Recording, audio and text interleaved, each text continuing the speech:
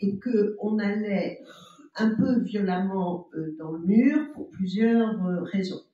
Et qu'il fallait revenir à ce qu'on appelle de la sobriété ou de la frugalité. C'est l'idée. Alors, en même temps, en Ille-et-Vilaine, beaucoup de Scots, déjà depuis 2002, ont réduit largement leur consommation. Euh, moi, je suis de Château-Gironde. Le Scott auquel on appartient, le premier Scott a été voté en 2004 peut-être, euh, et aujourd'hui on en a notre troisième Scott et on n'a pas plus de droits à urbaniser qu'on en avait sur le premier. Et je sais qu'il y a beaucoup d'endroits euh, qui l'ont fait. Et puis on est tous d'accord sur cette idée. et en même temps est arrivé euh, pendant la campagne des législatives et des présidentielles, il y avait sans doute moins de, ministres dans les bureaux. Euh, un décret d'application, monsieur le sous-préfet, je ne vous ai pas salué, euh, je suis très contente que, vous soyez là parce que je sais l'écoute que vous portez à tout ça. Et donc, une circulaire, enfin un décret d'application est arrivé et qui en gros enfin, en gros et en vrai, à transformer l'esprit du législateur. Par exemple, on a dit que, je donne toujours l'exemple euh, d'une grande maison où n'habite plus qu'une vieille dame dans un centre-bourg avec un très grand jardin. Si on décide de diviser la parcelle en se disant là où il y a un grand jardin, on peut peut-être faire trois ou quatre maisons, et eh ben dans le décret d'application, ça voulait dire qu'on artificialisait car ce jardin n'était pas considéré, même s'il était dans une zone urbanisée, euh, comme euh, urbanisé. Donc, un moment, on entrait un peu euh, chez les schizophrènes. Même chose, quand vous faites une liaison douce, c'est-à-dire une piste vélo, qui est faite pour encourager les développements doux, on considérait que vous artificialisez. Bon, à un moment, on s'est dit, ça va être difficile de le faire, quand en plus on sait qu'il faut réindustrialiser. Alors certains d'entre vous que j'ai vus euh, en début de semaine dernière ou en fin de semaine ont entendu l'histoire, je donne l'exemple du paracétamol. Euh, ce médicament qui est toujours très utile pour les migraines des élus et des autres. Euh, le paracétamol, il est fabriqué à 89% en Inde. Donc le bilan carbone d'un médicament que vous ramenez d'Inde, c'est quand même pas quelque chose de vertueux et d'exceptionnel, et qu'en plus vous êtes de manière sanitaire très dépendant. Parce que le jour où quelqu'un décide de nous supprimer le paracétamol comme d'autres nous ont supprimé le gaz, ça veut dire qu'on est extrêmement dépendant et qu'on voit bien aujourd'hui avec le contexte géopolitique qu'il faut qu'on retrouve de l'autonomie alimentaire, d'où nécessité de préserver des terres agricoles, mais aussi de l'autonomie sanitaire et énergétique. Et énergétique. Et que donc, moi je disais qu'avec mon bon sens, mais si dans votre territoire arrive un industriel qui va implanter une usine de paracétamol, vous améliorez le bilan carbone, et vous améliorez notre souveraineté sanitaire. Donc, en matière de développement durable, qui, je rappelle, a trois piliers, un pilier un pilier sociétal et un pilier environnemental, je pense que ce type de projet a une contribution positive. donc il faut qu'on réindustrialise. Il faut qu'on loge des personnes. Et vous savez dans vos communes comme partout qu'aujourd'hui, même quand votre population n'augmente pas, vous devez construire des logements. Pourquoi? Parce que quand une famille se sépare et qu'on est en garde, alternée, c'est deux logements pour une même famille. Quand les enfants grandissent, moi je me souviens avoir dit une dame qui trouvait qu'à Châteaugiron on construisait trop, je lui disais, mais vous voyez, il y a dix ans, vous étiez quatre dans une maison, les parents, les deux enfants. Aujourd'hui, vous êtes toujours quatre, mais vous avez trois logements. Parce que chacun de vos enfants a pris une indépendance. Et les personnes, fort heureusement, vivent plus longtemps chez elles. Donc on a aussi ce sujet, et je ne parle pas de l'obligation de logements sociaux, je vais vous donner des exemples. Alors, je prends toujours à l'extérieur. Euh, au Croisic, euh, dans cette commune où il y a une obligation de logements sociaux, de loger des travailleurs saisonniers, En plus, elle est commune littorale, donc je ne vous raconte pas le souci. Eh bien, il va rester à cette commune 8000 mètres carrés de terrain. Et pendant ce temps-là, la commune paye des amendes parce qu'elle ne construit pas de logements sociaux. Donc, vous voyez, il faut aussi qu'on mette tout ça, euh, euh, qu'on mette tout ça euh, en place. Bon, donc au mois de juillet, entre le mois de mai et le mois de juillet, c'était quand même l'émeute un peu partout. Les gens, oui, oui, nous on veut bien, mais on a l'impression de tourner un petit peu en rond parce que se rajoute la question que vous avez très bien posée ce, zéro artificialisation net commence à réouvrir l'opposition entre les communes rurales et les communes très urbaines. Pourquoi? Parce qu'on sait très bien qu'en ville, il est beaucoup plus facile de reconstruire cela sur la ville. On achète une maison, on construit 40 ou 50 appartements. Donc ça veut dire que le développement de la ville, il peut se faire de manière plus aisée alors qu'à la campagne, ça n'est pas la même chose. A fortiori, quand, et c'est le cas dans certaines de nos communes, on n'a rien construit sur les dix dernières années, et si on vous dit que vous avez le droit à la moitié de ce que vous avez construit, et quand vous avez construit zéro, bah, la moitié de zéro, ça ne fait pas beaucoup plus. Ensuite, vous avez euh, la spéculation foncière qui a été activée par ça. Aujourd'hui, à Rennes, dans la zone industrielle sud-est, où il y a des entreprises qui avaient, euh, souvenez-vous, euh, des superficies énormes, il y a déjà des promoteurs qui se précipitent pour acheter ce qui, ce qui est encore une zone d'activité qui demain matin sera peut-être une zone d'habitat. Et donc on fait monter les prix. Pendant ce temps-là, il y a d'autres grands propriétaires qui gardent les terrains en se disant ça va encore monter comme le blé, comme le café. Euh, et dans nos communes, on voit bien comment ça commence à monter.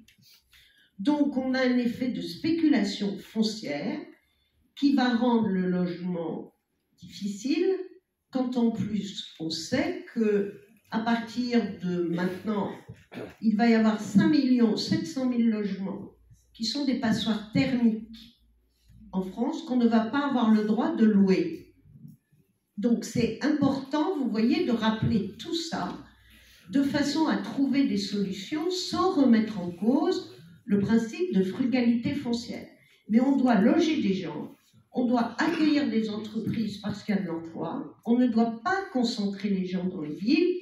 Rappelez-vous, pendant la crise Covid, euh, au moment du, confinement, enfin après, euh, je suis allée voir un maire d'une commune euh, très proche de Rennes qui me dit on ne va plus pouvoir construire comme on a fait.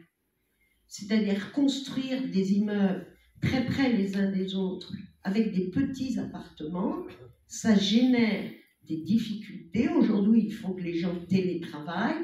Il n'y a pas d'espace de respiration, donc il faut aussi qu'on prenne en compte cet élément. Et par rapport à ce que l'on disait, si on a euh, une territorialisation dont on a parlé, et on va en parler tout à l'heure au travers de vos questions, je vais prendre la région Hauts-de-France. Dans la région Hauts-de-France, il y a un projet remarquable qui a été décidé il y a longtemps, à la fois par l'Europe et par la France, qui est le canal Seine-Nord, qui est un projet qui va permettre de redynamiser les ports du nord de la France jusqu'au Havre, de se connecter avec les ports euh, notamment euh, de, la Hollande et, de l'Allemagne, pour faire une autoroute fluviale et surtout retrouver un dynamisme d'activité portuaire qu'on a perdu. Parce qu'aujourd'hui, les bateaux, ils débarquent tous euh, euh, à Rotterdam et hop, après, c'est camions. Donc ce projet qui est extrêmement positif, il représente 1200 hectares. Eh bien, 1200 hectares, c'est quasi la totalité de ce que la métropole de Lille pourrait consommer. Ça veut dire qu'une fois que vous avez pris les 1200 hectares sur le quota, il va rester par commune 7 euh, hectares les beaux jours. Alors que vous voyez que ce projet, il est très positif en matière de développement durable et à côté de cette autoroute fluviale, il va y avoir des entreprises qui vont venir s'installer pour se connecter, vous voyez, recevoir les marchandises. Donc c'est compliqué. Et puis dans la spéculation foncière, je donnerai un autre exemple qui est aussi euh, euh, l'exemple des communes rurales. Entre Saint-Malo, j'ai dit que je prenais toujours des exemples ailleurs. Entre Saint-Malo euh, et Rennes, il y a une petite commune qui s'appelle Longonnet. Longonnet est une petite commune qui aurait besoin de construire 15 maisons en 5 ans pour garder son école qui est déjà une école regroupée avec deux autres communes. Eh bien, aujourd'hui, si on fait une application stricte, la commune, elle a le droit à rien. Parce qu'il était dit que de 2021 à 2031, vous avez le droit à 50% de ce que vous avez consommé. Ça veut dire que, alors même que le gouvernement euh, déploie des politiques euh, positives en faveur de la ruralité, c'est comme si à un moment on éteignait la lumière dans la campagne. Est-ce que ça veut dire qu'à Longonnet, il n'y aura pas de maison Mais si à Longonnet, il n'y a pas de maison, alors l'école est fermée. Mais les gens qui ne peuvent pas se loger à Saint-Malo, où il y a plus de 70% de résidences secondaires, les gens qui ne peuvent pas se loger à Anne, on fait comment? Et puis, il y a tout le volet de l'industrie. On sait très bien que l'industrie, elle ne peut pas aller dans les villes. Parce qu'il y a de l'industrie qui provoque des nuisances euh, et de l'industrie qui a besoin d'espace. Et donc, on ne peut pas accepter, en tout cas beaucoup le disent des élus, que au-delà de l'activité agricole qui est essentielle pour nous, on le sait, mais qui fait place à de l'industrie agroalimentaire, plus des équipements majeurs qu'on doit recevoir, on ne va pas pouvoir avoir des campagnes qui fourniront à la ville l'eau, l'énergie, et qui n'auront pas d'habitants, parce que ça veut dire qu'on va remettre sur la route des gens qui habitent en ville et qui viendront travailler à la campagne. Donc, moi, quand je dis ça, c'est pas euh, une critique, je crois que je décris, en tout cas, euh, moi j'ai fait cette réunion ici, j'ai été dans 15 départements, partout j'entends la même chose. Donc l'idée, c'est de dire, on va pas s'opposer à la frugalité foncière, on est d'accord, c'est nécessaire. Mais il faut faire un développement durable. C'est-à-dire qu'il ne faut pas laisser croire que en 2050, on construira zéro. En tout cas, moi, je ne le laisse pas croire, parce que je pense qu'on ne le fera pas. On, ne, le fera pas. Et que, sauf habiter dans un pays euh, chinois, euh, et à dire aux gens, alors vous, votre usine, vous allez la mettre euh, dans l'Arzac. alors vous, les habitants, nous ici, c'est terminé, vous allez habiter en Haute-Loire. Ça ne se fait pas comme ça. Il y a aussi des réalités et qu'il faut que l'île-et-Vilaine reste très tonique et accueille des, entreprises parce que la partie ouest de la Bretagne, qui doit garder du développement, elle doit être accrochée au reste de l'Europe et la porte d'entrée, c'est l'île-et-Vilaine. Donc on a un vrai sujet d'équilibre territorial, c'est-à-dire comment on fait pour construire un pays qui est un vrai pays de développement durable. Et moi, je ne crois pas qu'en concentrant les gens dans les villes, en mettant les usines à, la campagne, on va s'en sortir. C'est pas. Voilà. Donc, comment on fait? Alors, une fois qu'on a dit tout ça, on a posé la question au ministre, Monsieur Béchu. Disons, Monsieur Béchu, vous êtes ministre, mais vous avez un problème, quoi, parce que, sauf si vous avez la solution, nous, on ne pas faire. En tout cas, le décret d'application, c'est pas possible il faut qu'on retravaille ça. Donc le ministre a dit, vous pouvez retrouver, euh, c'était aux questions d'actualité au gouvernement au mois de juillet, d'août, c'est moi qui lui ai posé la question. Il a dit oui, oui, je vois bien, on a un truc, enfin il y a un truc, il n'a pas dit truc, mais euh, il y a un truc. Très bien, alors on a dit, bah, écoutez, nous, nous, on est prêts à travailler, non pas contre la loi, mais pour faire que la loi soit pas qu'une promesse qu'on ne tiendra pas. Comment on fait Comment on y va tous? Donc, euh, au Sénat, on a créé un groupe de travail. Moi, je suis membre de ce groupe de travail. On termine nos auditions et notre tour de France très bientôt et on va remettre des propositions. Et pour ceux qui étaient au Congrès des maires, vous avez entendu la Première ministre dire jeudi dernier qu'effectivement, il fallait qu'on bouge. Alors, sur quoi on va bouger? La première chose, c'est ce que vous avez appelé des projets d'envergure nationale ou internationale. L'exemple, euh, l'exemple du canal Seine-Nord. C'est un projet européen. Euh, Donc, ce gros projet de 1200 hectares, il va être sorti du quota de la région nord. Si le gouvernement décide d'un projet de LGV pour désenclaver, je vais dire Clermont-Ferrand, parce que si vous êtes allé à Clermont-Ferrand, c'est un truc. Euh, on pourra considérer que c'est un projet d'envergure nationale. Il va falloir définir ce que c'est.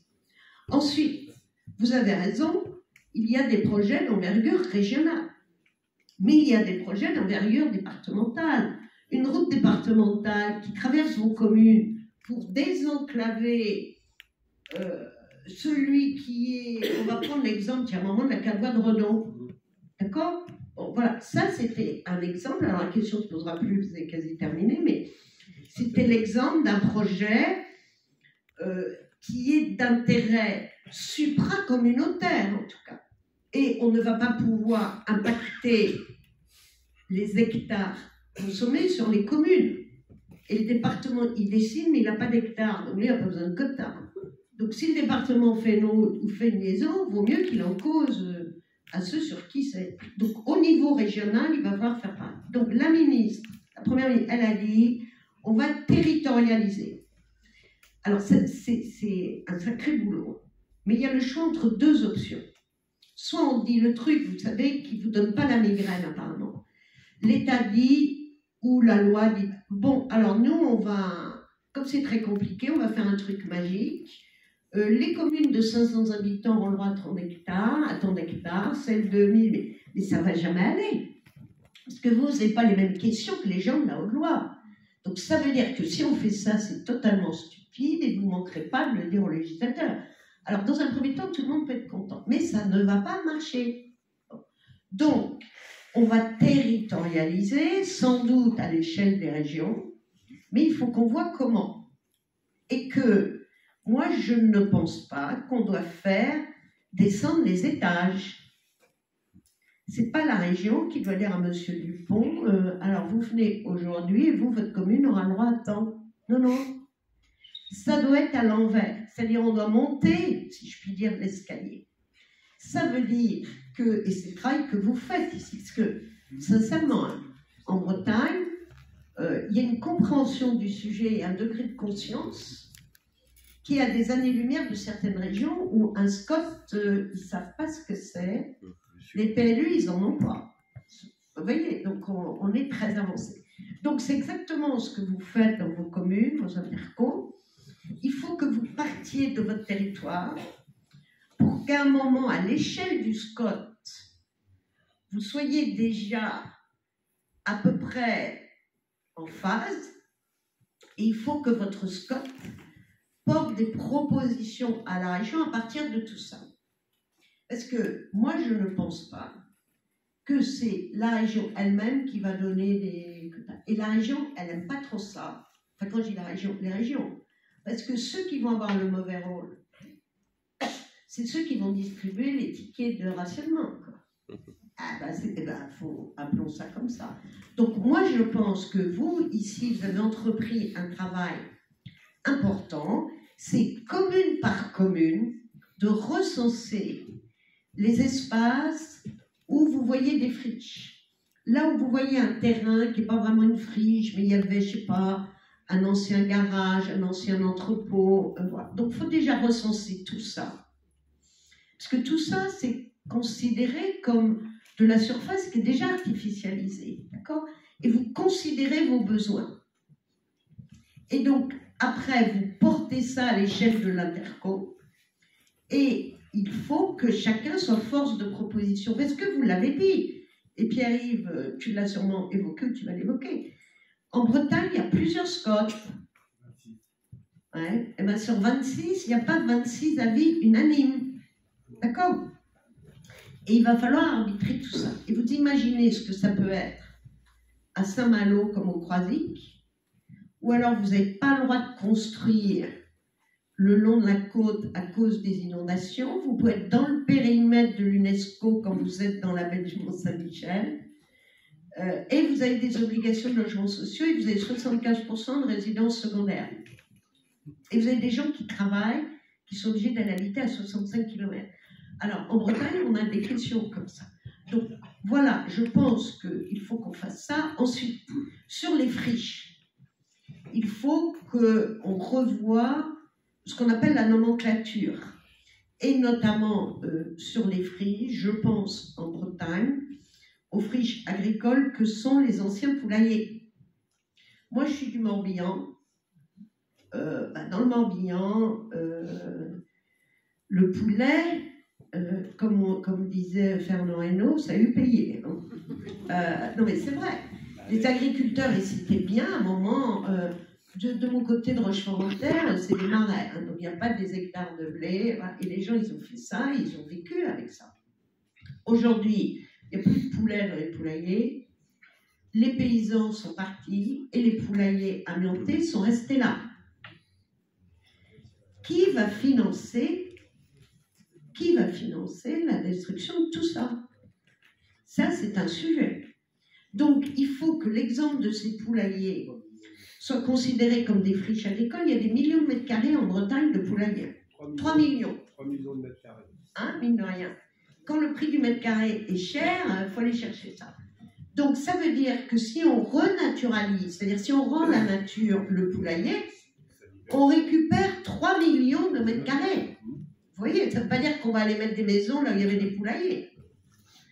Euh, mais voilà. Et donc, par exemple, les poulaillers, les anciens poulaillers, doivent être considérés comme des friches et il faut aider les communes à financer. Ça veut dire que vous avez l'établissement public foncier qui doit venir aider et on travaille avec le gouvernement sur de l'aide euh, aux friches. Alors, si vous avez des friches industrielles, vous savez qu'on peut vous donner, enfin, il y a un fonds friche. Il faut, par exemple, que euh, ces poulaillers deviennent des friches. Que si vous avez dans votre bourg, encore une fois, un terrain qui est une friche, il soit considéré comme une friche. Et si c'est en plein cœur de bourg et que vous pouvez construire quelques logements, s'il n'y a pas d'argent de la part du propriétaire ou de la commune pour le faire, il faut être aidé. Voilà, donc voilà les idées sur lesquelles on est. Et nous, on demande en plus euh, le fait qu'il y ait des clauses de revoyure euh, et une contractualisation. Parce que parmi vous, il y a sans doute des communes qui viennent de terminer euh, des urbanisations importantes. Et puis là, vous avez une pause pendant 4 ou 5 ans. À l'inverse, vous en avez qui arrivent aujourd'hui avec des projets qui sont prêts. On sait bien qu'il faut du temps pour le faire. Et puis, imaginons que le SCOT, pardon, euh, la région avec le schéma régional de Sralet, dit à tel SCOT, voilà, vous, vous avez tant d'hectares. Vous, vous en avez tant. Il faut qu'on suive le déroulé. Parce que si jamais un SCOT ne consommait pas, et il y a un autre SCOT qui a besoin, il faut qu'à un moment, on puisse consommer l'enveloppe. Et je vais reprendre l'exemple de l'hôpital. C'est un bon exemple. L'hôpital Saint-Malo, il y a un hôpital intramuros. Il a été décidé par l'État et par l'Agence régionale de santé de construire un nouvel hôpital qui va desservir, on va dire, le bassin de Dinan et de Saint-Malo. Donc il est sur deux départements il est sur plusieurs EPCI. Euh, et il va venir s'implanter, enfin je ne suis pas sûre, mais ça pourrait être autour de ça, à Saint-Jouan-des-Guérets. Parce que Saint-Jouan-des-Guérets, euh, c'est le long de la quatre voies et c'est accessible pour nous. Bon, est-ce que c'est la commune de Saint-Jouan-des-Guérets qui va prendre tout ça sur, euh, sur son compte? Je ne sais pas. Il faut partager. En même temps, certains disent, si Saint-Jean déguerrait à ça, ça va lui apporter des habitants. Donc, euh, voilà. Et, très bien, je vois des gens qui font ça. Euh, parlons argent un peu. Et ça, ça va être un sujet, il faut se préparer à y penser. Si vous avez un équipement euh, comme un grand hôpital qui arrive sur votre commune, et qu'on dit, voilà, vous servez tout le monde, donc on prend ça sur le quota de je sais pas qui. Mais qui va avoir les recettes de la taxe d'aménagement? Euh, Donc, du coup, est-ce que Saint-Jouan-des-Guérets, avec qui tout le monde a été solidaire, doit pas à un moment contribuer? Vous voyez, euh, je pense qu'il faut vraiment qu'on affronte toutes les questions. Et puis, question des prisons. Alors, il faut des prisons. On en demande. C'est comme les airs des gens du voyage. Non, c'est pas les mettre quand une commune va accepter ou un EPCI une prison, est-ce que la prison l'impute sur son quota Sachant que personne ne veut de prison chez lui. Bon, voilà. Donc, voilà toutes les questions. Vous voyez qu'aujourd'hui, on n'a pas de réponse, mais au moins, je pense qu'on a balayé toutes les questions et que sincèrement, la réponse ou la construction, c'est vous qui l'avez. Et moi, je pense qu'en Bretagne, on va être peut-être un peu plus vite que les autres parce qu'on a l'habitude de travailler ensemble. Alors, on s'engueule parfois. On n'est pas d'accord. Chacun défend son territoire. Mais qu'en même temps, il faut qu'on arrive à être intelligent parce que le ministre Béchu a dit on ne change pas les dates. Hein. Donc 2021-2031, c'est 50%, pas plus. Et il nous a dit 2050, on ne change pas. Maintenant, moi j'aimerais bien qu'en 2031, on fasse un bilan et qu'on se re-questionne sur 2050. Parce que moi, je ne crois pas à la zéro artificialisation nette, je crois à la frugalité euh, foncière et à l'équilibre territorial. Et alors maintenant, j'aimerais bien que vous me donniez, si vous permettez, Monsieur le Président, des suggestions, des questions, des récriminations, et je vous dirai dans un mois, euh, dans un mois, ce qu'on aura euh, proposé. En même temps, on ne va pas tout régler. Hein. C'est quoi votre délai, par exemple législatif C'est quoi la navette qui est en cours et quels amendements ou, quels amendements ou décrets vous, vous attendez? Alors, euh, dans un premier temps, le ministre a dit on ne change pas la loi. Euh, on change que le décret d'application. Donc on a dit, ah non, non, vous allez voir. Bon, on l'a laissé dire ça. Puis on s'est dit, il va bien se rendre compte lui aussi, le gars, à un moment ça ne le fait pas. Et ce qui devait arriver est arrivé. Il nous a dit il y a trois semaines, bon, euh, ben, effectivement, va peut-être falloir bouger la loi. Donc nous, innocemment, on a dit, ah bon, très bien. Donc là... La loi ou les décrets Non. Le décret sert, mais la loi va falloir la bouger. Il y a des paramètres qu'il faut bouger. Euh, et donc, on va. Est-ce que, par exemple, l'histoire des très grands projets, c'est pas vraiment écrit dans la loi. Et le décret d'application, est-ce que les gens disent comment ça se fait qu'il y a des décrets d'application qui viennent contredire ce qu'ont fait les législateurs ben, C'est comme ça.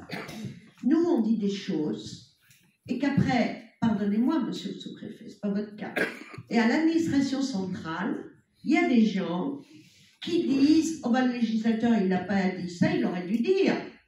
Ah ben vous voyez, ils en rajoutent parce qu'ils pensent que c'est beaucoup mieux comme ils voient. Ah oui, mais on ne leur demande pas ça. Donc je pense que le décret d'application, qui je rappelle fait l'objet d'un recours par l'Association des maires de France, qui l'a contesté, et on n'a pas encore la réponse. En tout cas, même le ministre dit que il va falloir faire des modifications législatives. Donc nous, en gros, on avait dit, on ne va pas pouvoir se contenter de bouger le décret. Donc, on y, nous, on est en train de travailler là-dessus. On a une dernière rencontre avec le ministre euh, dans dix jours, euh, je crois. On va voir si ça se croise. Et nous, notre objectif, c'est qu'il y ait une proposition de loi du Sénat début janvier pour les raisons que vous avez très bien évoquées c'est que au niveau régional, les schémas régionaux, ils doivent être actés en 2024 et qu'on imagine bien qu'on ne va pas leur dire le 31 mars qu'ils vont devoir faire en avril, parce que vous voyez le travail qu'il y a à faire. Donc l'objectif, c'est que, mettons, milieu d'année 2023, les choses soient, les choses qui doivent être revues le soir. Donc nous, au Sénat, premier, enfin tout début d'année, on devrait avoir une proposition euh, de loi. Nous, on travaille avec le gouvernement. Euh, il n'y a pas de raison de ne pas travailler avec lui euh, sur le sujet. Il vaut mieux qu'on travaille ensemble pour aller plus vite et trouver des solutions. Donc voilà où on en est. Je pense que nous, on a déjà des, idées. Il faut qu'on les discute tous ensemble. Je pense que, en tout cas, euh, est-ce qu'on va rendre notre rapport fin décembre? Je ne sais pas, mais on, devrait avoir une proposition de loi début d'année. Et donc l'idée, après, il faut que le gouvernement, et je ne sais pas s'il va être d'accord avec nous, en tout cas, sur le principe de faire bouger la loi, il est OK. après, je pense qu'on va avoir des différences de point de vue. C'est normal. Mais bon, voilà, affaire à suivre.